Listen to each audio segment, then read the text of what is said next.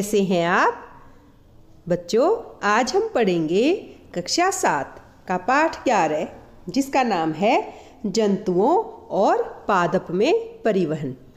प्यारे बच्चों, मानव में परिवहन का कार्य किया जाता है परिसंचरण तंत्र के द्वारा।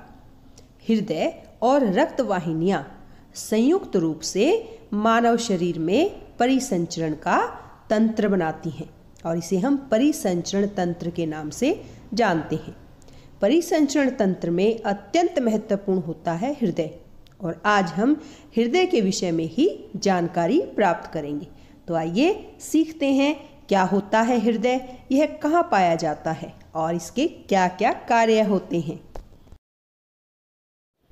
प्यारे बच्चों, आपको यहाँ चित्र में हृदय नज़र आ रहा है। आप सोचेंगे हृदय क्या होता है? बच्चों, हृदय वह अंग है जो रक्त द्वारा पदार्थों के परिवहन के लिए पंप के रूप में कार्य करता है और यह निरंतर धड़कता रहता है। आप एक ऐसे पंप की कल्पना कीजिए जो वर्षों तक बिना रुके कार्य करता रहता है। आपको तो यह बिल्कुल असंभव लगता होगा। कोई भी पंप बिना रुके कार्य करता रहे। लेकिन हमारा हृदय ऐसा करता है। हमारा हृदय जीवन पर्यंत बिना रुके रक्त को पंप करने का कार्य करता रहता है। आइए हम हृदय के विषय में कुछ और जानकारी प्राप्त करें। यहाँ मैं आपको हृदय का थ्री चित्र दिखा रही हूँ। यानी तिकोणा हर कोण से आपको यहाँ हृदय नज़र आ रहा है। चारों तरफ़ से कैसा दिखता है हमारा हृदय। इसमें बड़ी बड़ी पाइपें नज़र आ रही हैं आपको। इनके विशेष नाम और कार्य होते हैं। और इसके साथ आपको यहाँ पर बहुत छोटी छोटी ये देखिए, इतनी बारीक धमनी और शिराएँ इससे लिपटी होती हैं। ये धमनी और शिराएँ हमारे हृदय से ऑक्सीजन युक्त रक्त लेके जाती हैं और शरीर से कार्बन डाइऑक्साइड युक्त रक्त को हृदय तक लेकर आती हैं। बच्चों, सोचिए, क्या हो?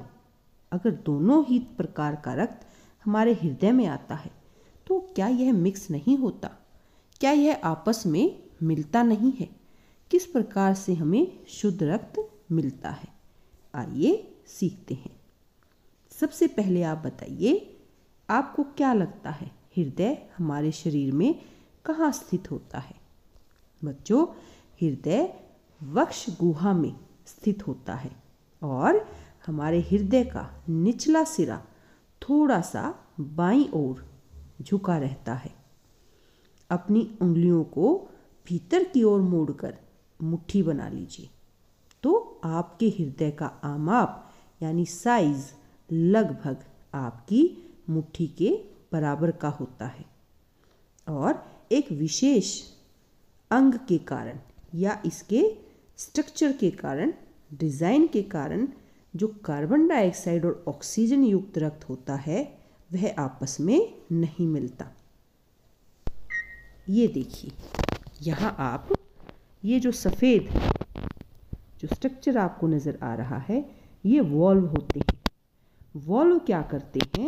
हमारे हृदय को चार कक्षों में बांट देते हैं।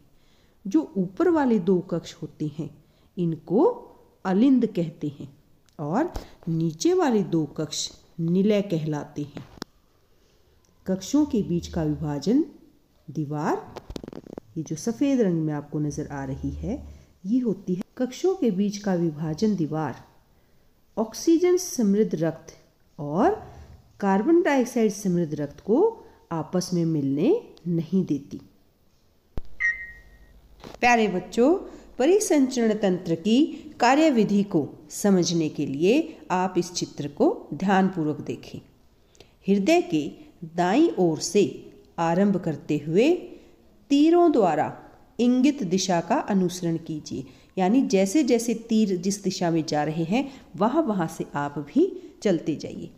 इस चित्र में तीर की सहायता से हृदय से फेफड़ों में और वापस हृदय में रक्त के प्रवाह की दिशा दिखाई गई है और यहाँ से रक्त जो है, वह पूरे शरीर में पंप होता है। जैसे आप यहाँ चित्र में देख पा रहे हैं, फेफड़ों से ऑक्सीजन युक्त रक्त को लेकर के आती है फुफ्फुस शिरा और कार्बन डाइऑक्साइड युक्त को हृदय से फेफड़ों तक पहुंचाती है फुफ्फुस धमनी। और नीचे आपको जो नज़र आ रही हैं, ये होती हैं धमनी और शिराएँ, जो हृदय से लेकर के आती हैं ऑक्सीजन युक्त रक्त को और वापस शरीर से हृदय तक लेकर जाती हैं कार्बन डाइऑक्साइड युक्त रक्त को। ऑक्सीजन युक्त रक्त लेकर के जाती हैं धमनी और कार्बन डाइऑक्साइड रक्त को लेकर जाती है शिरा। मानव हृदय का चित्र आप देख सकते हैं। इस तरीके से ये साइड से आपको यहाँ पर नज़र आ रहा है कैसे हमारे निलय और अलिंद एक दूसरे से जुड़े होते हैं और अलग भी होते हैं। ये देखिए। तो ये बड़ा ही कमाल का अंग है और बड़ा ही आवश्यक अंग है, जिसकी वजह से मनुष्य जीवित रहता है। और मनुष्य जीवित रहता है हमारे हृदय स्पंद के कारण। स्पंद माने धड़कन के कारण। और आप अपने वक्ष की बाई तरफ़ हाथ रखें तो अपने हृदय स्पंद यानी धड़कन को महसूस कर सकते हैं। चिकित्सक यानी डॉक्टर्स आपके हृदय स्पंद को मापने के लिए स्टेथोस्कोप नामक यंत्र का इस्तेमाल करते हैं। चिकित्सक स्टेथोस्कोप का उपयोग हृदय स्पंद की ध्वनि को आवर्धित करने की युक्ति के रूप में करते हैं। स्टेथोस्कोप के एक सिरे पर एक चेस्ट पीस लगा होता है, जिसमें एक संवेदनशील डायफ्राम होता है और दूसरे सिरे पर दो ईयर पीस लगे होते हैं। जो एक नली द्वारा चेस्ट पीस से जुड़े होते हैं। और स्टेथोस्कोप का चेस्ट पीस आपके हृदय के स्थान पर रखकर डॉक्टर्स हृदय की इसी ध्वनि, स्पंदन की ध्वनि का अध्ययन करते हैं, जिससे उन्हें आपके हृदय की स्थिति का सही सही आकलन हो जाता है। तो है ना ये बड़ा मज़ेदार और बड़ा ही रोचक अंग, जो हमारे जीवन के लिए अत्यंत आवश्यक है। जब यह कार्य करता है तो हमारा जीवन चलता रहता है। तो यह था अपना आज का पाठ, जिसमें हमने सीखा मानव हृदय के विषय फिर मिलेंगे, तब तक के लिए